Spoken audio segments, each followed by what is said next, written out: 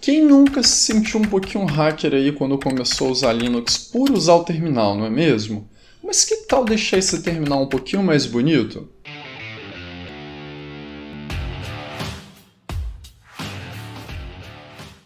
Fala Pinguim, Hack Linux na área. O que? Você não é um pinguim ainda? Não é inscrito aqui no canal? Então se inscreve agora para você receber toda vez uma notificação quando eu fizer um vídeo novo, uma review, uma dica aqui no canal. Então não deixa de se inscrever aí. Ah, aproveita e segue o Hacker Linux também lá no Instagram, eu tô sempre postando alguma coisa por lá, no Telegram, que tem um grupo de postagens, e tem também o Hacker Linux no Twitter. Então não deixa de seguir as redes sociais também. Quem nunca se sentiu um pouquinho hacker aí só por usar a telinha preta do Linux, não é mesmo? Chegou, pegava os comandos, começou a entender um pouquinho mais e colava ali, caramba, que maneiro. Tem gente que até prefere fazer as coisas pelo terminal, mesmo tendo a disponibilidade ali pela interface gráfica. E tem algumas coisas que não tem como fugir, que é melhor mesmo fazer por terminal, que pela interface gráfica vai dar muito mais trabalho, né? Pelo terminal ali é mais simples às vezes. Mas o terminal Linux, como vem por padrão, ele é meio feinho às vezes. Isso é claro, de acordo com o tema de cada distribuição Linux, né? Cada uma vem com um tema, vem com um design e por aí vai. Mas e se eu te disser, ou melhor, se eu te mostrar que tem como deixar ele um pouquinho mais bonito do que ele vem por padrão, ou bem mais bonito? Aí vai depender do seu gosto, né? De acordo com o que você vai colocar. Então, através desse vídeo eu vou te mostrar como customizar o seu terminal e deixar ele bem mais bonito aí do que ele vem por padrão. Então me acompanhe aqui nessa dica, nesse tutorial. Bom, então abra o seu terminal, né? no meu caso aqui eu estou no Fedora e vou dar um comando aqui, sudo dnf install zshell, que é o zsh. Se você está no sistema base Ubuntu é só trocar o dnf aí pelo apt, né?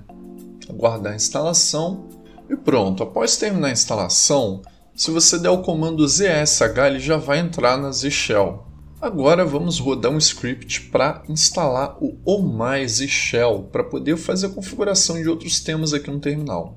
Após fazer a instalação, rodar esse script que eu vou deixar na descrição do vídeo, dando o comando ls-la, a gente vai ver aqui alguns arquivos ocultos. E tem esse aqui, é, .zsh, né, rc aqui, da Shell. E é ele que a gente tem que configurar para mudar o tema. É só dar um sudo nano.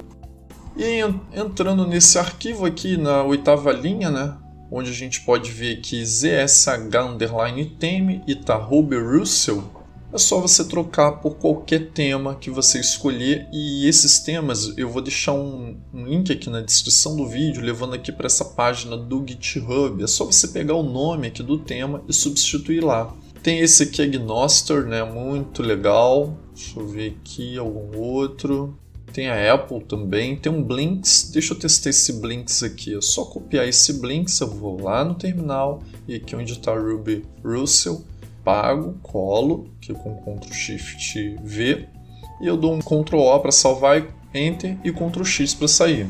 Agora eu vou para o Bash, vou digitar aqui Bash, da Enter, e agora eu vou voltar para Shell aqui dando ZSH Enter e pronto, está aqui o tema já instalado, o Blinks. Né? E se você não quiser esse tema, tem diversos outros aqui. Ó. Vamos dar mais uma olhada aqui, vamos navegar aqui um pouquinho mais. Ó. Tem esse Cloud aqui, então deixa eu voltar aqui, é só ir lá no arquivo, né?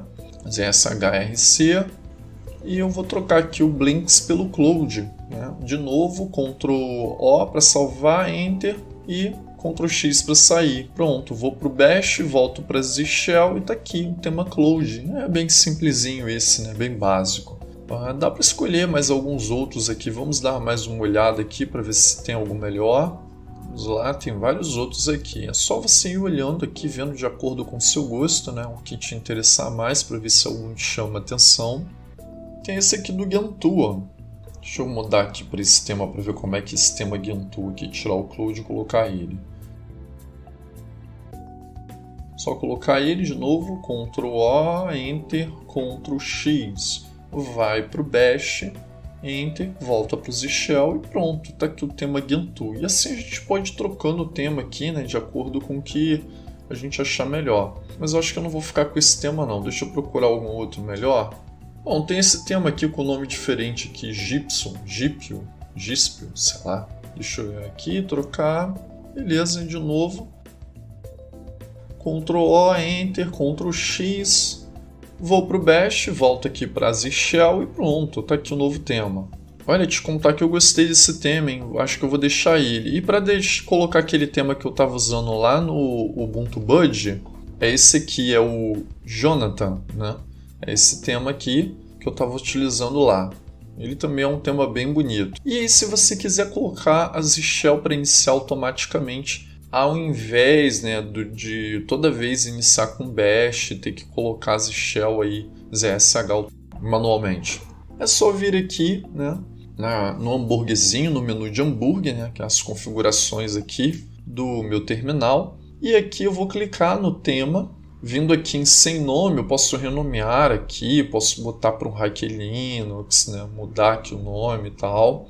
E aqui em comando personalizado, eu posso marcar aqui né, para ele executar um comando toda vez que iniciar o terminal e eu coloco aqui Shell, que é o ZSH. E toda vez que eu iniciar o terminal, ele vai iniciar com as configurações que eu defini aqui: tamanho da fonte, tipo da fonte, opacidade ou não e tudo mais. É só eu ir definindo aqui. E quando eu iniciar o terminal, ele vai escolher que ele vai de acordo com o tema que eu escolher, entendeu? Eu vou ampliar aqui, como eu faço tutorial sempre, né? Eu vou ampliar aqui o tamanho da fonte Vou deixar configuradinho aqui para quando eu iniciar o terminal não, não precisar aumentar ele. E pronto, olha como ele já está mais bonito. Ele vai iniciar toda vez com as configurações que eu defini por padrão ali. E aí eu já tenho um terminal Linux bem mais bonito do que eu tinha antes, né? Bom, esse aqui foi o vídeo de como deixar o seu terminal Linux mais bonito. Espero que tenha te ajudado a deixar aí um pouquinho mais do seu jeito. Se não é inscrito aqui no canal, se inscreva para receber dicas como essa e diversas outras. Deixe o seu comentário aí se te ajudou ou não. Eu leio todos os comentários, gosto muito aí de ler, de curtir, de comentar. Vejo você num próximo vídeo e até a próxima!